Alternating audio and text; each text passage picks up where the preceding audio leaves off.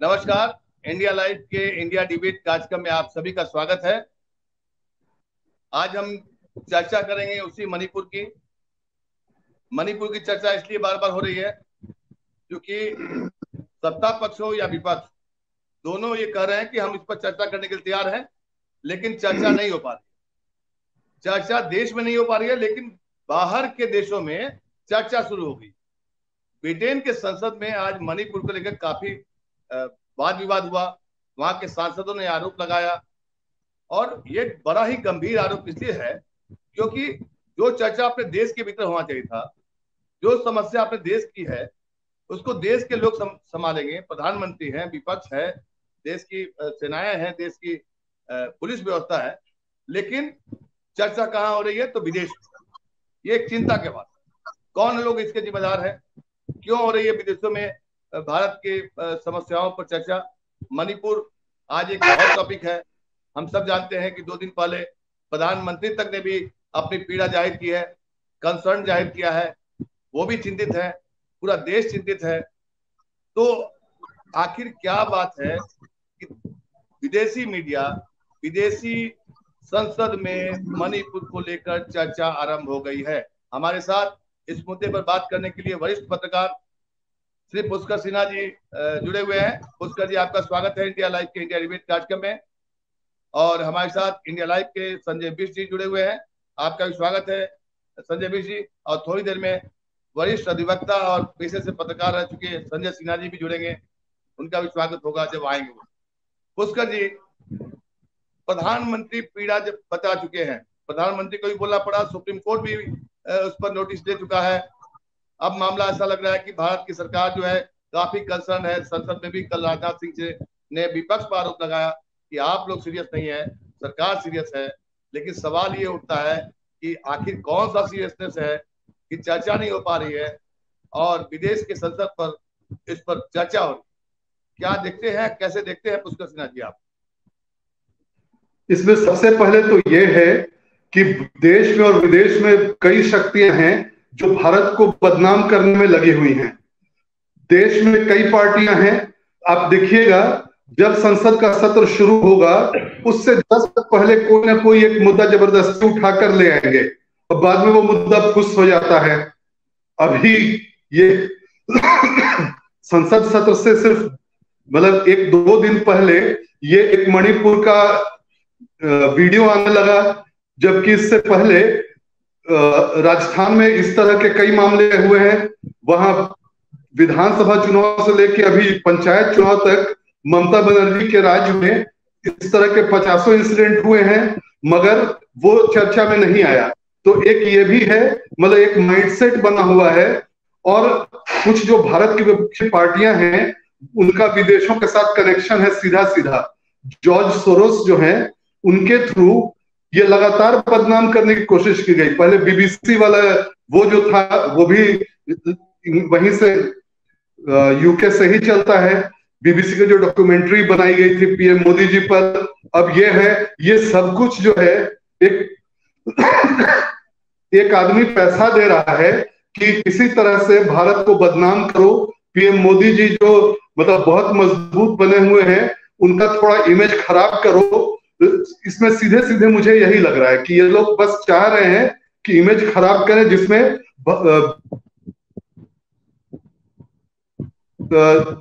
विदेशी जो है वो तो चाहते ही है कि भारत जो है मज़बूत नहीं हो पाए यहाँ स्थायी सरकार मज़बूत सरकार नहीं बने और उनके साथ यहाँ के अंदर के की कुछ विपक्षी पार्टियाँ भी लगी हुई हैं। मैं ये कहूँगा जैसे पिछला संसद था याद कीजिएगा। पुष्कर जी आपकी बात से मुझे दो बात समझ में आती है कि ये विदेशी षड्यंत्र है और इसका क्या माना जाए कि भारत सरकार कमज़ोर हो गई है कि विदेशी षड्यंत्र लगातार जारी है विपक्ष के लोग मिले हुए हैं और आप पता नहीं कर पाते हैं और आयन वक्त पर संसद शुरू होने के पहले। दूसरा सवाल आपसे ये है कि क्या आपको वो वीडियो कोई गंभीरता नहीं लाती है आपके लिए? क्योंकि देश के प्रधानमंत्री को चुप्पी तोड़नी पड़ी। वीडियो इतना खराब था, देश के लिए शर्मिंदगी का विषय बना।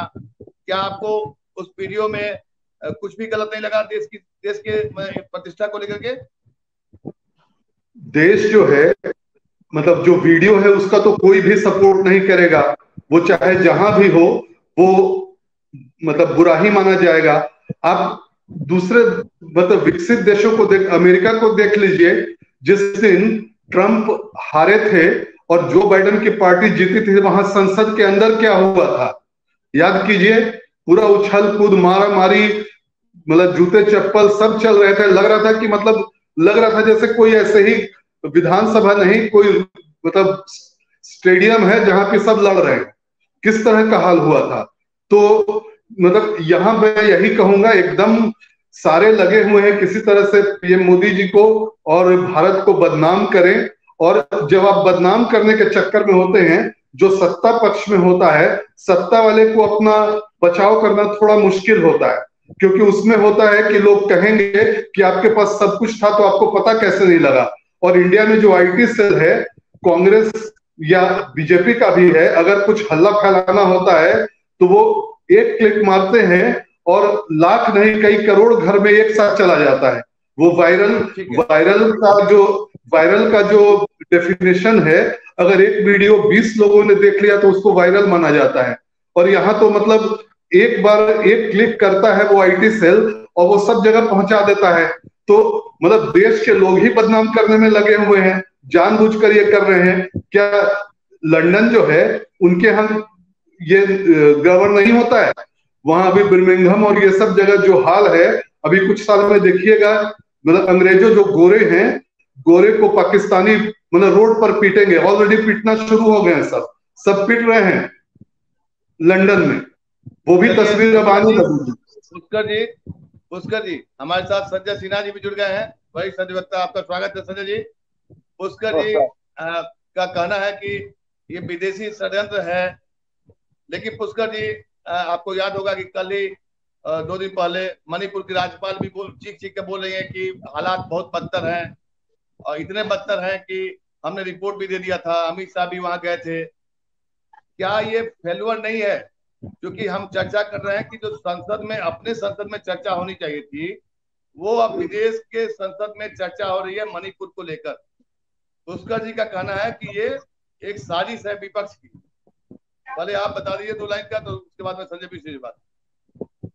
देखिए दूसरे कंट्री के पार्लियामेंट में हम क्या चर्चा हो रही है उसमें विपक्ष और सत्ता पक्ष का कोई रोल नहीं होना चाहिए और नहीं हुआ है। अगर ये कहा जा रहा है तो अपनी लाज बचाने की कवायद है इसके अलावा कुछ नहीं। मैं हमें एक, एक मैं कल एक प्रदर्शन में था सुप्रीम कोर्ट के सामने प्रदर्शन हम लोग कर रहे थे मणिपुर की घटना के खिलाफ में। वहाँ हमने देखा कई सारी महिलाओं को जिनको हम लोगों ने बताया भी नहीं था प्रदर्शन के लिए, वो सुप्रीम कोर्ट के अंदर से, supreme court lady bar room के अंदर से खोजते हुए हम लोग आई और बड़ा ज़बरदस्त मतलब जो स्वतः स्कूप होता है वो कहते हैं। उसमें तो अब मैं आपको एक आश्चर्य की बात बताऊँगा एक महिला थी जो ये कह रही थी कि मैं बीजेपी में समर्थक हूँ। तो हमने कहा कि आप आई क्यों हो यहाँ पे? तो नहीं, हमको लग रहा है कि ये मतलब मणिपुर की जो घटना है, वो एक मतलब एक आम महिला को जोड़ने वाली घटना है, इसलिए मैं भी आई हूँ। हम लोगों ने कहा कि आइए, आपका स्वागत है। सवाल ये नहीं है कि राजस्थान में क्या हो रहा है। सवाल ये नहीं है कि बिहार में क्या हो रहा है। सवाल ये है कि जो राजनीतिक दल सत्ता में जो जहाँ है, उसकी ज़िम्मेदारी पहले बनती है। आप कितना भी, आपके यहाँ हो रहा है, तभी दूसरे जगह पे चर्चा हो रही है। आपके यहाँ, आप, कोशिश तो ये होनी चाहिए कि हमारे देश में ऐसी घटनाएँ नहीं घटे। महिलाओं पे ऐसी ऐसे अत्याचार नहीं हो महिलाओं के खिलाफ। जब ये अत्याचार नहीं होंगे, दूसरे क्या ऐसा है क्या कि रोज विदेश के पार्लियामेंट में हमारे यहाँ की चर्चा होती है? ऐसा तो कभी होता नहीं है कि लंदन के ब्रिटेन के पार्लियामेंट में हमारी चर्चा रोज होती हो, यूरोपियन पार्लियामेंट में हमारी चर्चा रोज होती हो, अमेरिका हमारी चर्चा रोज करता हो।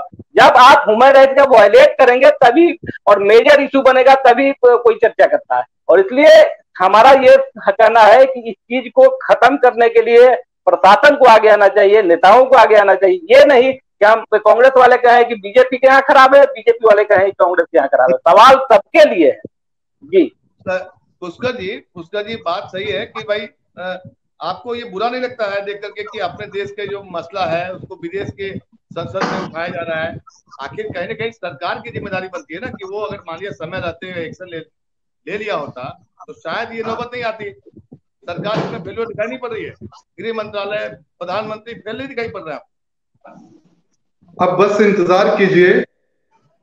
मतलब दो हो सकता है इसी सत्र में या मतलब जल्द ही इंडिया जब यूके पर जब संसद में अपना शुरू करेगा, उनकी कमियों की पर डिबेट तब देखेगा उनकी क्या हालत होती है। और ये जो मामला है सीधा सीधा मेतई और कुकी का है, जानते हैं। ये महिला जो थी वो कुकी थी। इससे पहले आपको, अगर आपको ध्यान नहीं है तो पता कर लीजिएगा कि ज़्यादा बदमाशी कुकियों ने ही मैतई पे की थी। मैतई वाले ज़्यादा पीटे थे। मगर यहाँ पे कुकी जो महिला है, जब जवाब दिया गया, तब उनका वीडियो वायरल कर दिया। और इनमें एक और चीज़ आपको मैं बता दूँ, वो भी आपने पढ़ा हो और जाना होगा। कुकी आपके है आपके है आपके भी उनका काम होता था कुकी और आपके आपके जवाब से हमको खबर आपको नहीं आपके ये जवाब नहीं करते। तो के आगे अपनी देते हैं। ये हर मामले में औरतों को आगे कर देते हैं। जब भी सेना कार्रवाई करने जाएगी तो औरतों को आगे कर देंगे और औरत जो है उस पर सेना और फिर वो बेढंगा जो मन है वो करते हैं। तो ऐसा नहीं है ये जो है और आप जो ये बात बोल रहे हैं ना सर आप जो ये बात बोल रहे हैं कि कुकी को जवाब दिया गया ये घोर अपमानजनक है और ऐसी बात किसी डिबेट में किसी सभ्य डिबेट में नहीं होनी चाहिए अगर आप ये बात कर रहे हैं कि कुकी को जवाब दिया गया ये बहुत ही अपमानजनक और निकृष्ट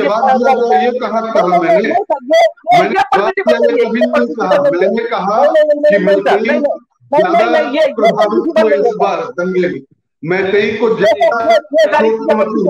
मगर ये एक कुर्सी वाला वीडियो गया तो उस पर हंगामा मच गया।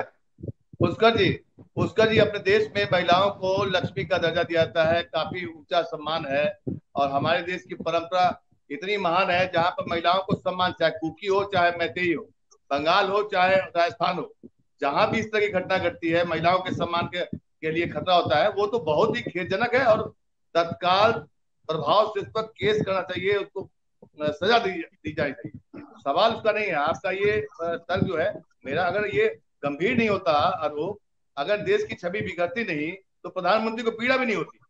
आप ये भी देखिए ना अस्सी अस्सी दिन से चुप थे सतहत्तर दिन से। सवाल ये नहीं है सवाल ये है कि अपने देश में संसद में चर्चा क्यों नहीं हो पा रही है? संसद में प्रधानमंत्री भी रेडी है कि सारे मतलब संसदीय कार्य मंत्री बार बार बोल रहे हैं कि चर्चा हम करेंगे।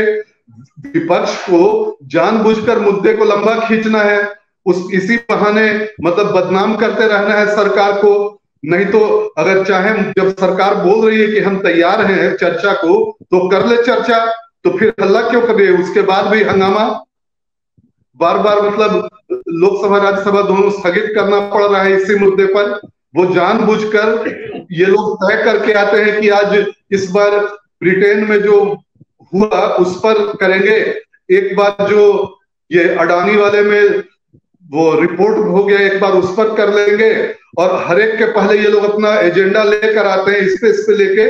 असल इन लोगों का है, सब एंटी इंडिया इस तरह से हैं कि कोई जो कानून सरकार को पास करवाना है, वो कानून नहीं पास हो और सरकार इसी में उलझ कर रह जाए।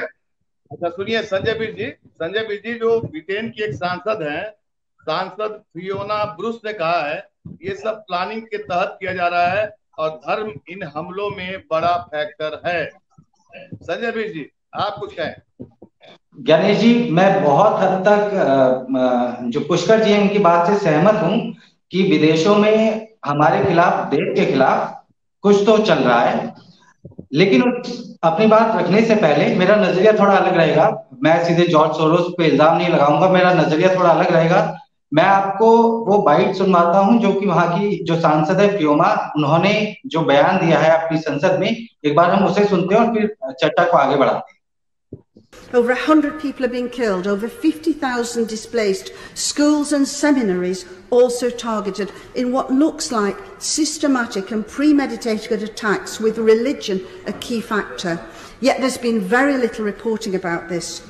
People there are calling out for help. What can the church do to draw more attention to their cries? Ganesh ji, अब हम बात करते हैं कि विदेशों में आखिर हमारी, हमारे देश की चर्चा क्यों हो रही है?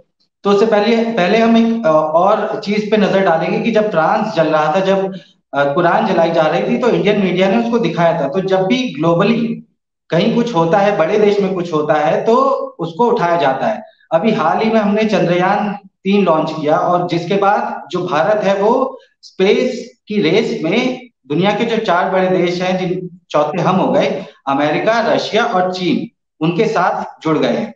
तो हम कामयाबी तो कर रहे हैं, कामयाबी पा रहे हैं, लेकिन वहीं दूसरी तरफ़ जब ऐसी दुखद घटना हो जाती मणिपुर वाली और सतहत्तर, अठहत्तर दिन तक प्रधानमंत्री कुछ नहीं बोलते, कोई रिएक्शन नहीं देते तो ये अपने आप में एक चिंता का विषय भी बन जाता है, जिसको जो विदेशी मीडिया है, वो उठाता है और उछालता है, खेलता है एक्चुअली तो यहाँ पे हम ये इल्ज़ाम नहीं लगाएँगे कि भाई जॉर्ज सोरोस है या कोई फंडिंग कर रहा है देश को बदनाम करने के लिए, ये एक बहुत नेचुरल गेम है, जो कंट्रीज़ के बीच चलता है। ग्लोबली कोई भी बड़ी कंट्री होगी, उसको पीछे हटाने के लिए दूसरी कंट्रीज़ ऐसी तरीके की खबरें चलाती हैं। लेकिन अगर वहाँ की पार्लियामेंट में, ऋषि सुनक की पार्लियामेंट में जो वहाँ के प्रधानमंत्री हैं और जिन्होंने बयान दिया क्योमा प्रूस वो उनकी बहुत करीबी हैं। और ऋषि सुनक और प्रधानमंत्री मोदी के रिश्ते अच्छे हैं। अगर उनकी पार्लियामेंट में ये मुद्दा उठता है तो वो सवाल वही आ जाता है कि हमारी पार्लियामेंट में तो ये मुद्दा अब तक नहीं उठा, कोई बात करने को राज़ी नहीं है। दोनों पक्ष आमने सामने खड़े होते हैं, शोर हंगामा होता है, कोई समाधान नहीं निकल पाता। लेकिन वहाँ की संसद में जो बात रखी गई, देखिए कितने शांति तरीके से उन्होंने रख दी। सामने वालों ने सुन ली, प्रतिक्रिया आ गई। ग्लोबल मीडिया में अल जजीरा से लेकर वॉशिंगटन पोस्ट और न्यूयॉर्क टाइम्स तक में खबर छप गई। तो समझिए कि हम, हमारी जो मीडिया है, वो अलग दिशा में जा रही है। हमारी जो संसद है, वो बात नहीं कर रही है, वो झगड़ा टाइप कर रही है, वो शोर मचाती है। कल राजनाथ सिंह बोलने लगे तो जो विपक्षी पार्टियाँ थी, वो कहने लगी कि प्रधानमंत्री आकर बोले। उनका भी कहना सही था कि भाई, प्रधानमंत्री बोलते हैं तो वो सुनेंगे, लेकिन प्रधानमंत्री बोले नहीं तो उन्होंने सुना नहीं, बात आई गई, हो गई। तो ये सब चीज़ें जो है विदेशों में हमें सिर्फ़ इसलिए उछाला जा रहा है, क्योंकि आज हम एक डेवलप्ड नेशन के तौर पर उभर कर आ चुके हैं। अर्थव्यवस्था के नंबर पर हम पाँचवें नंबर पर दुनिया में हैं। तो कुल मिलाकर मैं तो यही कहूँगा कि जो क्योमा ब्रूस है, उनके, उन्होंने जो बयान दिया अपनी संसद में, वो चर्च को लेकर दिया मिशनरीज को लेकर दिया। मणिपुर में जो उनकी चिंता है, वो कुछ हद तक ये चिंता नहीं कि मानव अधिकार की बात कर रही है, वो चर्च और मिशनरीज की बात कर रही है। तो ये हमें समझना होगा कि विदेशी जो मीडिया है, विदेशी जो संसद है वो किस तरीके से मैनिपुलेट करती है, खबरें बनाती है और कहीं ना कहीं अब जो हम उनके बराबर आके खड़े हो गए हैं, उनकी मानसिकता यही है कि अंग्रेज़ों की ब्रिटिशर्स की कि आज भी भारत एक गुलाम देश है जो कि नहीं है और हम बहुत आगे बढ़ चुके हैं उन चीज़ों से। आज भी वो हमें उसी नज़रिए से देखते हैं। तो वो हमें अपने बराबर स्टैंड आउट नहीं करने देना चाहते और इसीलिए ऐसे बयान वहाँ की संसद में चल रहे हैं, ऐसी खबरें वहाँ पर पब्लिश हो रही